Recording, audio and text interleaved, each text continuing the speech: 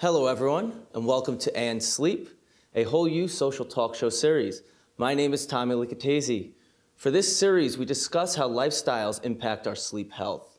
Today, we're going to discuss how obesity affects our sleep with bariatric surgeon Dr. Pratibha Vemulapalli. So, welcome, Dr. Pratt.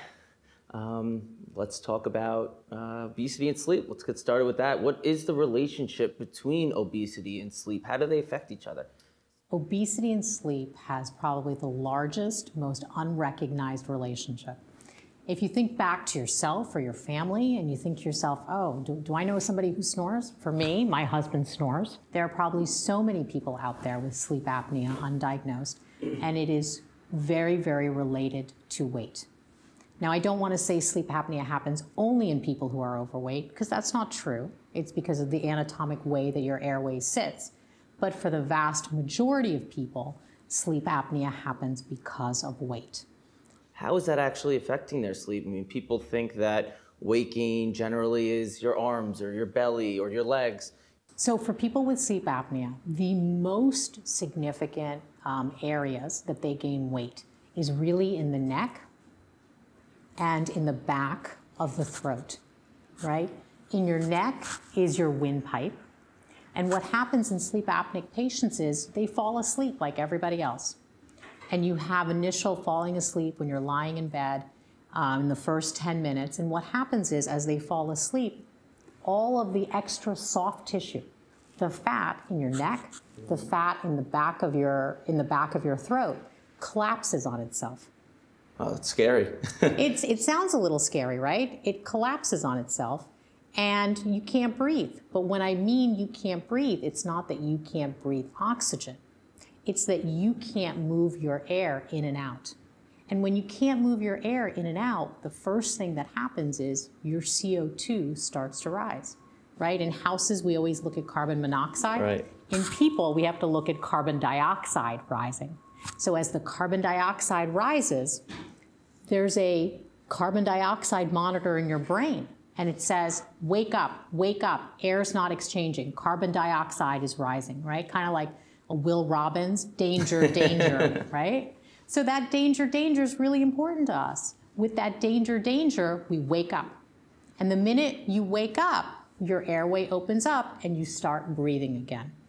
And a good night's sleep for the average American is seven to nine hours of solid, restful sleep sleep that you first have a light phase, you go into at least three phases of REM, that rapid eye movement where you're dreaming, and then you slowly come out of it and you go into a light phase sleep. For people with sleep apnea, they never make it into that deep phase sleep because the airways collapse, the carbon dioxide monitor goes off, and they wake up.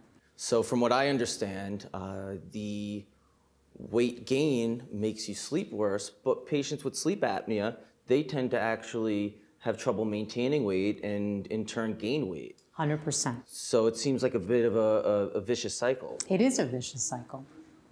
When you're tired, right, first of all, in everybody, your brain uses glucose. We can call it glucose, we can call it carbohydrate, but that's the kind of energy, that's the high octane fuel that your brain likes to use. When you're tired, you need more of that high octane fuel to stay awake, to overcome, right? It's why we all of us love coffee, right? Coffee with sugar because it's got our mm-hmm. caffeine and it's got our sugar. The caffeine's the stimulant, the sugar is for our brain. What ends up happening though when you're sleepy and you're, you are, when you're, when you have sleep apnea is you don't get that good restful nighttime sleep. So you wake up and you're tired and you need that sugar and your brain's waking up, you haven't had that restful sleep, so you overdose on carbohydrates. And as you overdose on carbohydrates, aka sugar, you gain weight. You gain weight, your sleep that night is even worse. You wake up in the morning, you want more carbohydrates. And imagine that cycle going on for a month. At the end of that month, you've gained five pounds just because you haven't slept enough. And that's been pretty well shown that sleep is really important to maintaining your weight. Sleep is important for so many things. So now in your patients that you're seeing this weight gain occur, um, you help them with their weight loss. How does the weight loss now help them sleep better? So it's, it's funny, and I, I challenge everybody to do this. Think of your friend who's lost five pounds. Think of yourself when you lose five pounds. The first thing that you always notice is people's face and necks, right? Because that's one of the first places people lose weight. As your neck starts to get smaller, as the soft tissue, right, the fat in your neck and the fat in the back of your throat gets less, when you sleep, it no longer compresses on itself it's open. And therefore, you go into deep sleep and you get better sleep. And that's almost in every bariatric patient. There have been large studies done where a year after surgery, 80% of patients no longer have the diagnosis of sleep apnea. Wow. When tested, they are not sleep apneic. Of the remaining patients, the 20% that remains, mm-hmm. 19% of them, their sleep apnea actually gets better. So if you had a severe case, you now have a mild case. And it's only 1% of people that stay the same. So in that 20% that you're seeing, those patients who either have some or none, no improvement, that small percentage, what do you do for those patients after? What's the next step? If they really are not getting restful sleep, depending on how severe the sleep apnea is, um, we first give them lifestyle changes, right? don't eat and drink close to bedtime. Try to take all the other things that are not sleep apnea related out of the equation. Then, after that, if they still are symptomatic, we usually recommend devices to them. So, what we usually do is we send them to get a sleep study. And if they have mild, they can get an oral appliance to basically take the tongue out to elevate the jaw while they sleep so that the airway doesn't close.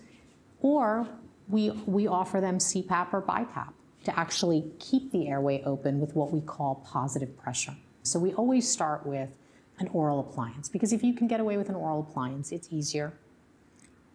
There's no electricity required.